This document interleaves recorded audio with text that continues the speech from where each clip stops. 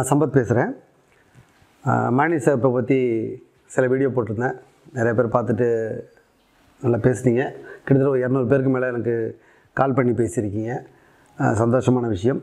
இதில் சென்னை போன்ற நகரத்துலேருந்து நிறைய பேர் கேட்டிருக்காங்க. எங்களுக்கு வந்து ஃபுல்லாகவே வந்து பக்கத்தில் அடர்த்தியாக வீடு இருக்குது. பக்கத்து பக்கத்தில் வீடு இருக்குது. எங்கேயுமே நாங்கள் மழைநீரை சேகரிக்க முடியாத ஒரு சூழல் இருக்குது. நாங்கள் எப்படி சேமிக்கிறது அப்படிங்கிறது அவங்களுடைய கேள்வி. அவங்களும் சேமிக்கலாம். எப்படி சேமிக்கலாம்னா பொதுவெளியிலேயே சேமிக்கலாம். எப்படி பார்த்தீங்கன்னா இப்போ வந்து இது உங்களுடைய சாலை. இதெல்லாம் வீடு இருக்கு வீடு இருக்குன்னு வச்சுக்கங்க. ஃபுல்லாக வீடாக இருக்குது வரிசலாக ரெண்டு சைடு வீடாகவே இருக்குது இப்போ எங்கேயுமே நீங்கள் மழை நீர் சேகரிக்கிறதுக்கு உங்களுக்கு இடம் கிடையாது. அப்படிங்கிறப்ப இந்த சாலை இருக்கு இல்லையா இந்த ரோட்லேயே நீங்கள் சேமிக்கலாம். இது ரொம்ப எல்லாரும் கேட்க வேண்டிய விஷயம். இன்னும் சொல்லப்போனால் இது அரசாங்கம் செய்ய வேண்டிய வேலை. முடிஞ்சால் அதை கொஞ்சம் உறுதிப்படுத்துங்க. அரசாங்கத்தில் சொல்லி அதை செய்யறதுக்கான முயற்சிகள் பண்ணுங்கள் இப்போ ரோடுன்னு இருக்க இருந்துச்சுன்னா இதில் வந்துடுறேன். இது சாலை. இது ஃபுல்லாக போக்குவரத்து பகுதின்னு வச்சுக்கங்க. இதில் ஃபுல்லாக வெஹிக்கிள் போகும். இந்த ரெண்டு சைடும் மண் இருக்கும். வெறும் மண் இருக்கும். பொதுவாக சாலை வந்து பார்த்திங்கன்னா இப்படி தான் இருக்கும். கொஞ்சம் சென்ட்ரு உயரமாகவும் இப்படி சைடில் கொஞ்சம் டேப்பராகவும் இந்த இந்த ஷேப்பில் தான் இருக்கும். அதுக்கப்புறம் இங்கே இந்த சாலை முடிஞ்ச உடனே இங்கே மண் இருக்கும். இதில் தான் நம்ம நடந்து போவோம் மேக்ஸிமம் இந்த மண் இருக்கு இல்லையா? இந்த பகுதியை நாம் ஒரு அகழி மாதிரி ட்ரெட்ஜ் மாதிரி தோண்டி எடுத்துடணும். ஒரு மூணு அடி அகலம் ரெண்டு அடி ஆழத்துக்கு ஒரு கால்வாய் மாதிரி அந்த சாலைக்கும் ரெண்டு சைட்லேயும் உள்ள மண்ணை தோண்டி எடுத்துடுறோம்.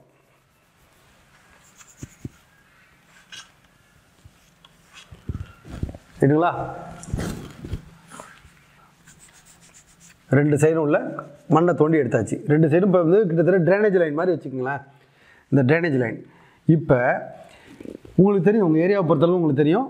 எவ்வளோ தூரத்தில் நம்மளுக்கு இந்த ஏரியாவில் மணல் இருக்குது தண்ணி உறிஞ்சக்கூடிய மண் இருக்குது அதாவது ஏற்கனவே உங்களுக்கு ஹேண்ட் பம்ப் போட்டிருப்பீங்க போர் போட்டிருப்பீங்க கிணறு இருந்திருக்கும். எத்தனை அடியில் தண்ணி இருந்துச்சு அப்படிங்கிறது உங்களுக்கு தெரியும். ஒரு அதிகபட்சம் பதினஞ்சு இருபது அடி வரைக்கும் தண்ணி இருக்கிறது வாய்ப்பு இருக்குது இந்த இடத்துல நாற்பது அடிக்கு ஒரு இடம் நாற்பது அடிக்கு ஒரு ரீசார்ஜ் பாயிண்ட் நான் சொன்ன மாதிரி ரீசார்ஜ் பாயிண்ட் இதில் கீழே ஹோல் இருக்கும். கீழே ஹோல் இருக்கும் வலை சுற்றி இருக்கும். இது வழியாக தண்ணி போகிறதுக்கு வாய்ப்பு இருக்குது இதை போட்டுட்டு இந்த பைப்பு இப்போ மொத்தம் நீங்கள் மூணு அடி தோன்றுறீங்க இல்லையா? மூணு அடி தோன்றப்ப ஒரு ரெண்டு அடிக்கு கூழாங்கல் கூழாங்கல் இல்லைன்னா பெரும் மணல் இருந்தால் கூட போ பரவாயில்ல. இந்த மணலை போட்டு இங்கேயும் ப இங்கெல்லாம் ஹோல் இருக்கும்.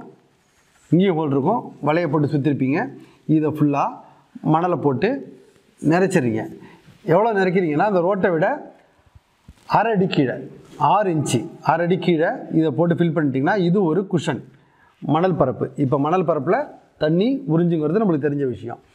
இதுக்கு மேலே ஒரு நாலு இன்ச்சுக்கு பேப்பர் பிளாக் பேர் பிளாக்னு திரும்ப இந்த பெட்ரோல் பங்கெலாம் போட்டுவாங்க பாருங்கள் சின்ன சின்ன கல்லாக இருக்கும் அதுக்கு கடையில் கொஞ்சம் கொஞ்சம் சந்து இருக்கும். அந்த கல்லை ஃபுல்லாக அடிக்கிடலாம் ஸோ இது உங்களுக்கு நடைபாதை ஆச்சு. ரோட்டுக்கு பக்கத்தில் நடைபாதை அதில் பேர் பிளாக் போட்டாச்சு. அந்த பேர் பிளாக் போடும்போது கொஞ்சம் கேப் அதிகம் வச்சு போடணும். இப்போ என்ன ஆகும்னா இந்த சாலையில் பெய்கிற மழை உங்கள் வீட்டிலேருந்து டெரஸ் வாட்ரு ரோட்டுக்கு வருது இல்லையா? அது எல்லாம் இந்த- இந்த இடத்துக்கு வரும். ரைட்டுங்களா இப்போ வீட்டிலேருந்து பெய்கிற மழையும் இந்த இடத்துக்கு வந்துடும் சாலையில் பெய்கிற மழையும் இந்த பக்கம் இந்த பக்கம் ஓடி வரும். இந்த மணல் பகுதியானது அதை எடுத்து சேவ் பண்ணி வச்சுக்கும் உறிஞ்சிக்கும் உறிஞ்சிக்கிட்டு இந்த ஃபில்டர் பாயிண்ட் வழியாக எடுத்து மண்ணுக்குள்ளே அடிச்சிடும் இதை நம்ம ரெகுலராக பண்ணும்போது சென்னை போன்ற பெருநகரங்களில் கண்டிப்பாக வெள்ளம் வர்றதுக்கு வாய்ப்பு கிடையாது.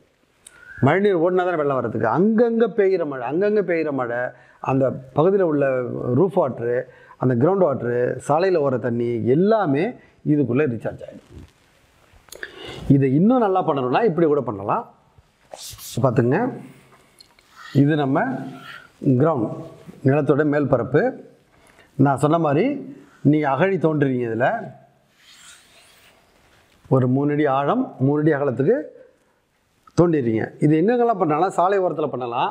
பெரிய பெரிய காம்ப்ளெக்ஸ் இருக்குது அப்பார்ட்மெண்ட் இருக்குது அங்கே பண்ணலாம். ஸ்கூல் இல்லை அரசு நிர்வாக அலுவலகம். அந்த காம்பவுண்ட் இருக்கு இல்லையா? அந்த காம்பவுண்ட் சுற்றி இது உங்களுடைய ஏரியா. இங்கே உங்கள் பில்டிங் இருக்குன்னு வச்சுக்கோங்க. இது ஒரு மெயின் கேட்னு வச்சுங்களேன் ரைட்டுங்களா? இது இது உங்கள் காம்பவுண்டு இது ஒரு ஒரு ஏக்கரோ ரெண்டு ஏக்கரோ இருக்குது ஒரு அப்பார்ட்மெண்ட்டாக இருக்கலாம் இல்லை கவர்மெண்ட் பில்டிங்காக இருக்கலாம் ஸ்கூலாக இருக்கலாம் எது வேணாலும் இருக்கலாம். நீங்கள் என்ன பண்ணுறீங்கன்னா இது எங்கே அகழி தோன்றோம்னா அந்த காம்பவுண்டு ஒட்டி நாலு பக்கமும் இந்த அகழியை தோண்டிடுறீங்க.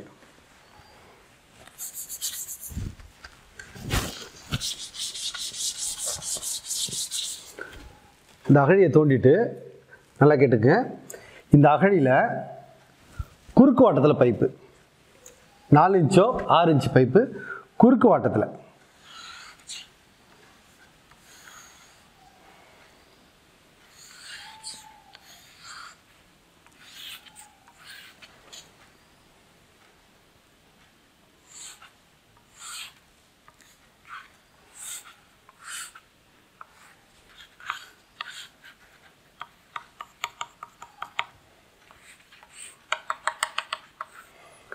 குறுக்கு ஓட்டத்தில் பைப் போடுறீங்க அகழியோட இந்த மூணு அடி இருக்கு இல்லையா? மூணு அடியில் கீழே ஒரு செங்கல் மாதிரி ஏதாவது ஒன்று பரப்பிடுங்க. ஒரு நாலு இன்ச்சு மேலே இந்த குறுக்கு ஓட்டத்தில் பைப் போடுறீங்க இந்த பைப்பு ஃபுல்லாக ஹோல் இருக்கணும். குறைஞ்சபட்சம் ஒரு நாலஞ்சு பைப் போடுறீங்களா நாலு ஓட்டை இருக்கலாம். இந்த பைப்பு ஃபுல்லாக சின்ன சின்ன ஓட்டைகள் போட்டுட்டு அதில் நீங்கள் வலையோ இல்லை நான் சொன்ன மாதிரி இந்த பழைய புடவையோ இதை சுற்றிடுறீங்க மணல் போகாமல் இதை சுற்றிடுறீங்க இது ஃபுல்லாக ஹோல் இருக்கும். இது இப்போ நான் சிதம்பரத்தில் ஒரு ஸ்கூல் பில்டிங் பண்ண போகிறேன் இப்போ தான் எஸ்டிமேட் எடுத்துகிட்ருக்கேன் அது பண்ணும்போது உங்களுக்கு வீடியோ கூட போடுவேன். இதை போட்டுருக்கு. இதை போட்டுட்டு இந்த பைப்பு உயரத்துக்கு இப்போ மூணு அடி தோண்டிட்டீங்க. மூணு அடி தோண்டிட்டீங்கன்னா ஒரு நாலஞ்சு கீழே அதுக்கு ஏதோ சப்போர்ட் கொடுத்துட்டீங்க. இது ஒரு நாலஞ்சு எட்டு இன்ச்சு போயிடுச்சு. கிட்டத்தட்ட முக்கால் அடி போயிடுச்சுன்னு வச்சுங்களேன் முக்கால் அடி போயிடுச்சுன்னா பாக்கி ஒரு ரெண்டே கால் அடி இருக்கும். இந்த முக்கால் அடிக்கு என்ன பண்ணுறீங்க முக்கால் அடி மேலே கொஞ்சம். ஒரு ஒரு அடிக்கு ஜல்லி செங்கல் துகள் இல்லைன்னா பில்டிங் உடைக்கிறாங்க இல்லையா? பில்டிங் உடைக்கிற மெட்டீரியல் இருக்கு இல்லையா? எது போட்டாலும் சுத்தம் பண்ணி போடணும். அந்த பில்டிங் உடைக்கிற அந்த செவரு அந்த காங்கிரீட்லாம் இருக்கும் இல்லையா? அதை கூட போடலாம். வேக்கம் பிளேஸ் நிறையா இருக்கணும் வேறு ஒன்றும் கிடையாது. அதெல்லாம் போட்டுட்டு அதெல்லாம் சுத்தம் பண்ணி போடணும். இது இதில் அடிக்கிட்டு மேல் பகுதியில் ஃபுல்லாக மணல். மணலை போட்டு இந்த அகழியை துத்துடுறீங்க. துத்துட்டிங்கன்னா இந்த நான் சொன்னேன் இல்லையா? உங்கள் காம்பவுண்ட் உங்கள் பில்டிங் இருக்கு இல்லையா? இங்கே தானே அகழி தோண்டியிருக்கீங்க? இந்த ஏரியாவில் உள்ள மொத்த தண்ணியும் எந்த வழியாகவும் வெளியில் போக முடியாது. இங்கே காம்பவுண்ட் வால் இருக்குது இந்த பக்கம் வந்தால் இங்கே அகழி இருக்குது எந்த பக்கம் போனாலும் அகழி இருக்குது அந்த அகழிக்குள்ளே தண்ணி போன உடனே அந்த தண்ணி இந்த மணல் வழியாக ஃபில்டர் ஆகி இந்த குறுக்கு பைப்பில் போகும். குறுக்கு பைப்பில் போயிட்டு அடுத்தது அங்கேருந்து போகிற உயர பைப்பு ஆழமாக போகுது இல்லையா? அது உங்கள் நான் சொன்ன மாதிரி உங்கள் ஏரியாவுக்கு தகுந்த மாதிரி எந்த அடி வரைக்கும் எவ்வளோ ஆழம் போனால் மணல் கிடைக்கும் எவ்வளோ ஆழத்தில் ஊற்றுக்கண் இருக்கும் அப்படிங்கிறத உங்கள் லோக்கலில் உள்ள ப்ளம்பர் இந்த போர் போகிறவங்களுக்கு என்ன தெரியும்? அந்த அளவுக்கு ஆழம் போயிடுச்சுனாக்கா உங்கள் காம்பவுண்ட்லேருந்து ஒரு சொட்டு நீர் கூட வெளியில் போகாது. எல்லாமே உங்கள் காம்பவுண்டுக்குள்ளேயே ரீசார்ஜ் ஆகும். இன் ஃபியூச்சர் நீங்கள் இன்னும் ஒரு வருஷம் ஒரு வருஷம் கழிச்சு நீங்கள் எங்கே போர் போட்டாலும் நல்ல தண்ணி கிடைக்கிறதுக்காக நல்ல வாய்ப்பு இருக்குது கிரவுண்ட் வாட்டர் ரைஸ் ஆகும். இது மாதிரி எல்லா இப்போ சென்னையை பொறுத்தளவுக்கும் எல்லா காம்ப்ளெக்ஸும் பண்ணிட்டோம். எல்லா சாலையிலையும் பண்ணிட்டோம். எல்லா வீட்லேயும் பண்ணிட்டோம். இது மேக்ஸிமம் பார்த்திங்கன்னா நம்ம தனிநபர் செய்கிற வேலை தான் இது வந்து எல்லாமே அரசாங்கம் செய்யலாம் நம்ம எதிர்பார்க்க முடியாது. அப்படின்னா அரசாங்கத்துக்கு நிறைய வேலை இருக்குது அதனால் இதை தான் பண்ணணவங்க அந்த டாபிக் நம்ம போக வேண்டாம். ஸோ இதை நம்ம தனிநபர் செஞ்சாலே போதும். இப்போ வந்து கண்டிப்பாக ஒரு ஸ்கூல் பில்டிங்காக கண்டிப்பாக ஒரு ஸ்பான்சர் பிடிச்சி பண்ணிடலாம். ஒரு ஐடி கம்பெனி இருக்குது இல்லை ஒரு ஃபேக்ட்ரி இருக்குது இண்டஸ்ட்ரியல் இருக்குது அப்பார்ட்மெண்ட் இருக்குது அப்பார்ட்மெண்ட்லாம் எல்லாம் நல்லா ஓரளவுக்கு செட்டிலாக இருப்பாங்க. இதை பண்ணுறது ஒன்றும் பெரிய செலவு கிடையாது அவங்களுக்கு. இந்த மணலை போட்டு நம்பிட்டு இதை பண்ணிடலாம். இப்போ ஸ்கூல் பில்டிங் அப்படிங்கிற பட்சத்தில் நீங்கள் மணல் மட்டும் போட்டால் போதும். மற்றபடி அப்பார்ட்மெண்ட்டு ஆஃபீஸ் அப்படிங்கிறப்ப இதுக்கு மேலே ஒரு நாலஞ்சுக்கு பேர் பிளாக் அடிக்கிறீங்க. பேர் பிளாக் ஃபுட்பாத்தில் போடுவோம் இல்லையா? இந்த பெட்ரோல் பங்க்லாம் போட்டுப்பாங்க பார்த்துங்க ஸ்கொயர் ஸ்கொயராக கல் இருக்கும். அதை அடிக்கிட்டிங்கன்னா வர்ற தண்ணியெல்லாம் அந்த பேர் பிளாக்கில் உள்ள கேப் வழியாக உள்ளே போயிட்டு அந்த சேண்ட் குஷன் இருக்கு இல்லையா மணல். அந்த மணல் வந்து அதை உறிஞ்சி இந்த குறுக்கு பைப்பில் போய் இந்த குறுக்கு பைப்பில் பாஸ் ஆகிற தண்ணி இந்த ஆழ பைப்புக்கு போய் நிலத்தடி நீர் ரீச் ஆகும். நன்றி. இது இது சம்மந்தமாக ஏதாவது டவுட்னா கூட எனக்கு ஃபோன் பண்ணி நீங்கள் கேட்கலாம். இன்னும் ஒன் வீக்கில் நான் அதுக்கு ஒரு வீடியோ போடுவேன். இப்போ நான் ஒரு சைட் ஒன்று பண்ண போகிறேன் அது ஃபுல் அண்ட் ஃபுல் வீடியோ போடுறேன். ஒரு ஸ்கூல் பில்டிங் பண்ணுறேன் ஒரு அஞ்சு ஏக்கர் உள்ள ஒரு ஸ்கூல் பில்டிங் அதை நான் வீடியோ எடுத்து கண்டிப்பாக போடுறேன் உங்களுக்கு. ரெண்டுமே போடுறேன் அதில். அதில் வந்து டெரஸ் வாட்டரும் நம்ம வந்து சேவ் பண்ணுறோம் அது ரொம்ப பெரிய ப்ரா ப்ராஜெக்ட் அது. சிதம்பரத்தெல்லாம் பண்ணுறோம் ரெண்டுமே தனித்தனியாக வீடியோ எடுத்து ஷூட் பண்ணி போடுறேன். ஓரளவுக்கு உங்களுக்கு எல்லாமே புரிஞ்சுக்கணும்னு நினைக்கிறேன். அப்படி ஏதாவது டவுட்னாக்கா எப்போனாலும் எனக்கு கால் பண்ணி கேட்கலாம். என் நம்பர் உங்களுக்கு தெரியும் எல்லாருக்குமே. Nine eight four two four nine three two eight three WhatsApp number nine one five zero three five one double zero one இது செல் நம்பர் இது வாட்ஸ்அப் நம்பர் எப்போ வேணாலும் எனக்கு கால் பண்ணி நீ கேட்கலாம். நீ பேசும்போது நான் பிஸியாக இருந்தாக்கா நான் உங்களுக்கு எக்ஸஸ் கேட்டுட்டு கட் பண்ணிவிடுவேன் திரும்ப எனக்கு எப்போ டைம் கிடைக்குதோ அப்போ உங்கள்கிட்ட நானே கால் பண்ணி பேசிடுவேன். நன்றி வணக்கம்.